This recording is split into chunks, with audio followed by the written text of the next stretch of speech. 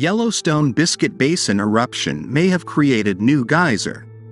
Geologists have revealed new details about a recent geyser eruption in Yellowstone National Park, including the shallow depth of the eruption and the surprising height of its plume. A geyser that erupted last week in Yellowstone National Park sent water and rock debris 600 feet into the air, scientists say, six times higher than previously reported.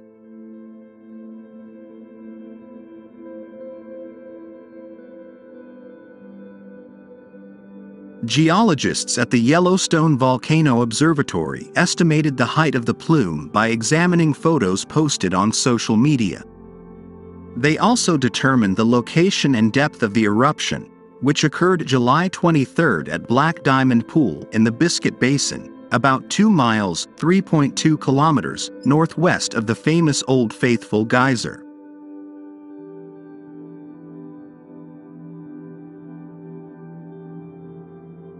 The eruption occurred suddenly, and there were no early signs detected by monitoring instruments.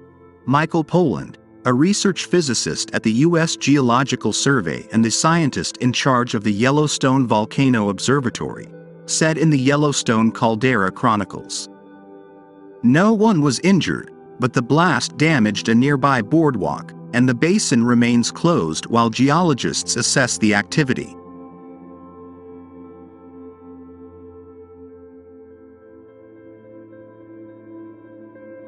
Researchers analyzed rock fragments ejected in the eruption and found that they were made of glacial material, sandstone, siltstone and gravel that lie just below the surface. The eruption did not eject bedrock buried about 175 feet 50 meters deep, indicating that the blast was very shallow. Shallow geyser eruptions are common in Yellowstone, Michael Poland said.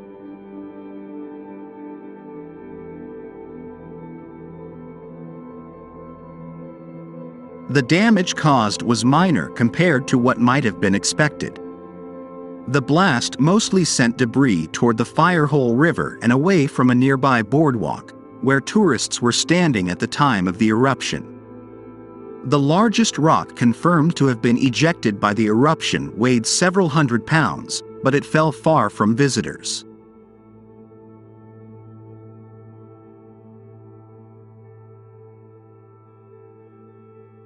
A blockage in the underground hydrothermal system beneath the Biscuit Basin likely triggered the eruption.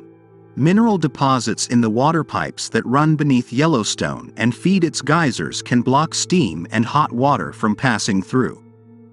The obstructions cause a buildup of pressure that can eventually overcome the strength of the surrounding rock, triggering an explosion.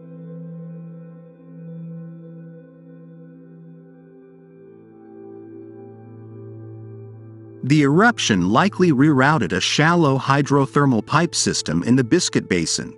By shifting the ground beneath the surface, the explosion may have returned the area to a calmer state or it may have created new geysers. It's not known how the thermal features will respond, but data that geologists collect from the debris from the explosion will provide more details about the exact conditions at the time of the event.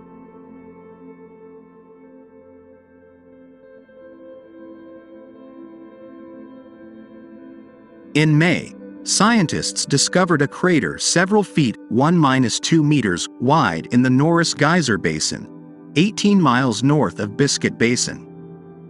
They examined acoustic and seismic data from a new monitoring system in the basin and confirmed that hydrothermal venting was occurring.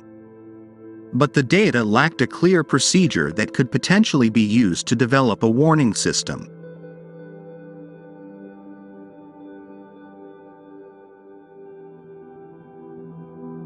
Long-term research into the locations of hydrothermal vents and other ground disturbances that could occur in Yellowstone is the focus of University of Wyoming geology professor Ken Sims, who has used ground-penetrating radar and other techniques to identify problem areas.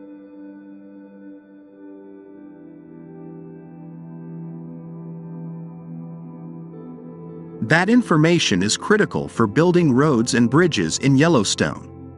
Anytime you're building a super active system like that, You have to pay attention to what's going on. But while eruptions like the recent one in Yellowstone can be predicted, there's no feasible way to prevent them, Poland said.